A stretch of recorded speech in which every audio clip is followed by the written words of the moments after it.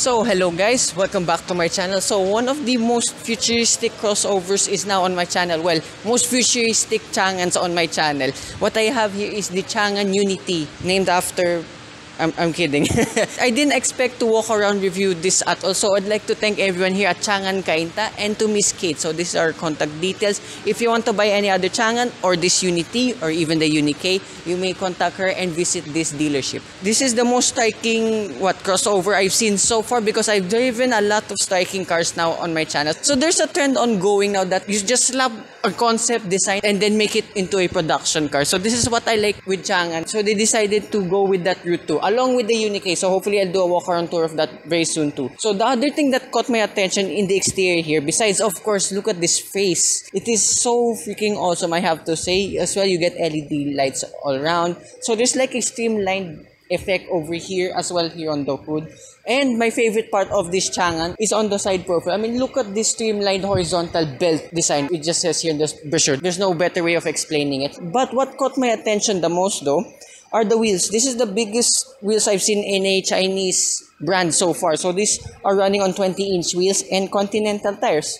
So I've never seen that combo too before. So on the rear profile too, it looks very, very striking. So the rear quarter panel, so it mimics that of like European crossovers or SUV. So it kind of gives it like coupe SUV vibes. But it does give this UNI-T a very, very striking look, I have to say. So as well, you're wondering what's underneath the hood of this UNI-T. Let's open it up. And I love, you have Aston Martin style door handles over here.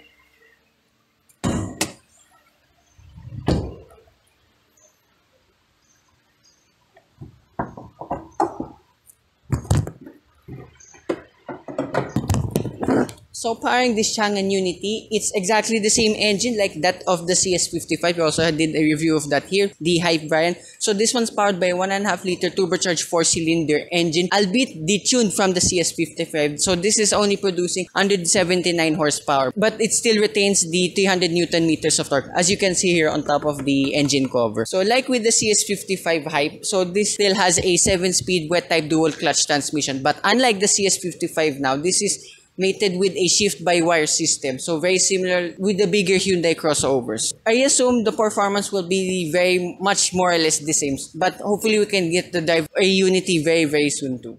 So as well, you get LED taillights for the rear and numerous claddings here on the side. So the most hilarious thing with this what UNI-T is this. I was expecting fake exhaust, but you got surrounds on four exhaust pipes. So I kind of give that a pass and I dig this look actually. So it gives it more of a sportier vibe, I have to say. So you get a blacked out part here on the side profile, so it gives it more of a floating roof design. And yet again with more of the striking looks, look at this spoiler design. That's pretty much insane. So it looks like more or less like its competitor. I did a review of that too.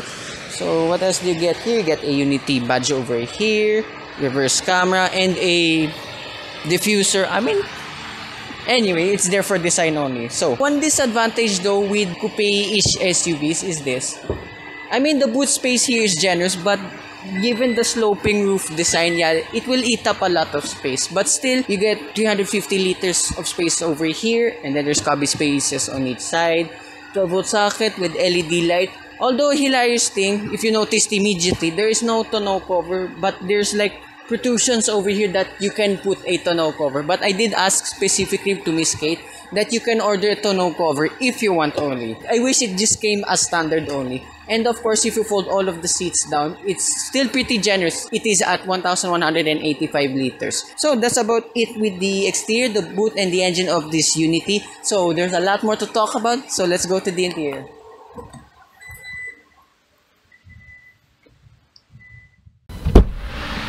So this is the interior of the Changan UNI-T. Start her up since it's so freaking hot.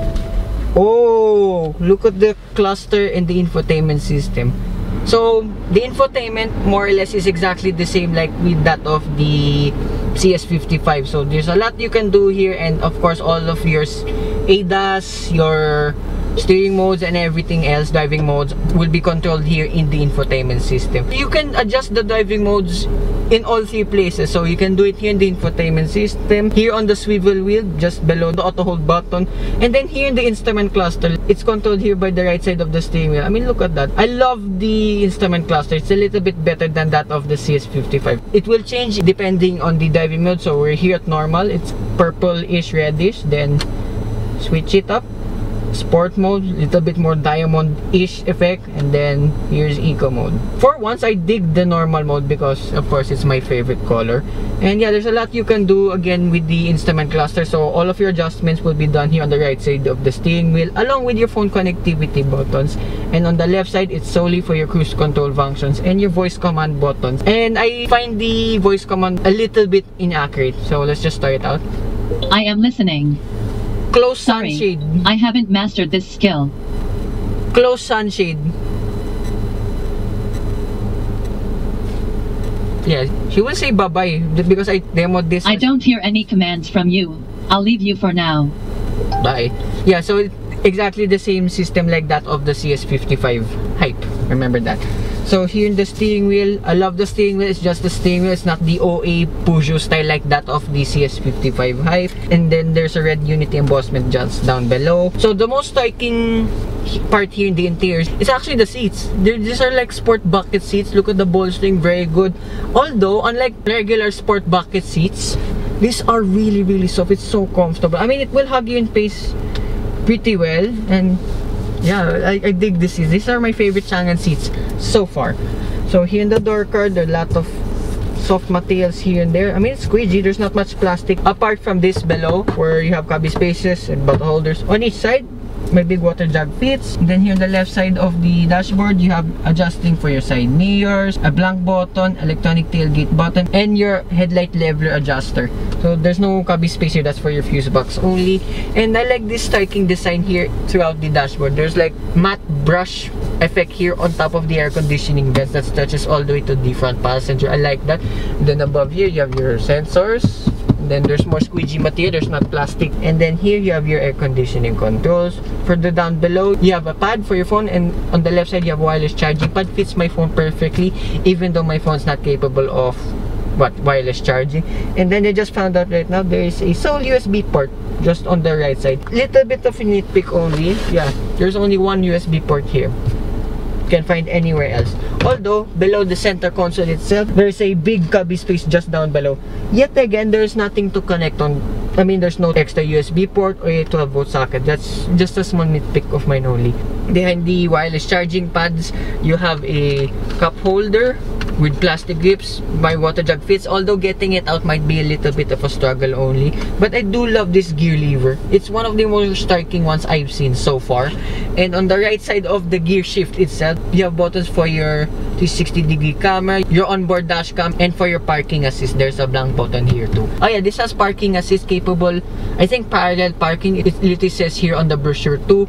So hopefully we can get a test drive again of this soon so i can demo it all out. And as well i did mention this too earlier with the infotainment system like all the changans like the cs35 hype coming soon and the cs55 hype and the upper variants of the aforementioned vehicles that this has a onboard dashcam which i find very very handy so you don't have Oh, no, no, no, no. Stop. I pressed record by accident. Yeah, at least you don't have to put a dashcam here anymore. At least when you buy Changans, they'll save you a lot of money at least.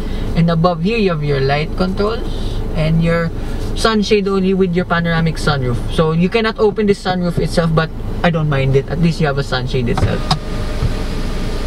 Takes a while to open and close, but hey, at least there is. So, but sun visor, vanity mirror only. There's no light don't extend but that is really really thick so good quality to this sun visor so quality fit and finish here among the better Changans I've tried out more or less the same like with the CS55 hype oh yeah and then glove box. Okay it's pretty narrow but at least it's wide enough. So like with the CS35 I, sadly the center console box is not as big as that one I'll show you guys later. But at least this still retains the cooling function in the console box. So this can act like a refrigerator. So that's about here in front of this UNI-T. Let's go to the rear seats. So this is the rear of the Changan UNI-T. So despite having the sloping roof design, I mean, the space here is excellent. Feet room, knee room, it's very good throughout. Although my headroom, I mean, I'm 5'4", this is my headroom. Despite the sloping roof design yet again, it's not so bad for me. And I just realized, sitting here, you feel you're so sunken down in the chassis. I mean, it is really low. Like, look at my eyeline already here on the door. And yeah, taller people might tend to struggle a little bit here. I mean, 6 foot might be the absolute maximum here. You have LED lights above here too. Map pockets on each side. The door cards exactly the same materials like the ones in front. You have smaller cubby spaces now and cup holders on each side. Still fits my big water jug, which is really good. And you have a central armrest here with two cup holders. They do not fit my big water jug whatsoever. And then, like with every other Chang'an, here in the middle, you have a lone air conditioning vent. So, Chang'an really likes to make you fight with your family, sir. Just kidding. and then, you have one USB port.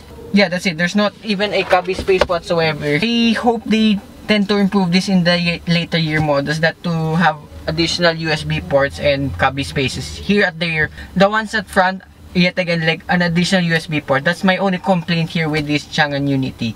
So as well, if I sit here in the middle, there's a transmission tunnel. It's very short, it's the size of my shoe. Sitting here in the middle is much more comfortable than that of the left and right side of the seats. However though, these seats here at the rear are one of the softest I've tried out. I mean, look at how much squish there is. And it's definitely one of the most comfortable too. I think I'd rather stay here in the back than be the one driving. We will know soon in the future. So, for the cost of all of this, the Changan UNI-T starts at 1,679,000 pesos. So, pretty much worth it for all the tech and the design fest here and there. So, there's only one variant too only. So, that concludes my walk around review. I'd like to thank Changan Cainta and to Miss Kate, these are contact details yet again, for making this walk around review possible. There will be more reviews coming here again from Changan Cainta. So, hope you guys like and subscribe and I will see you with more future car reviews. Bye-bye.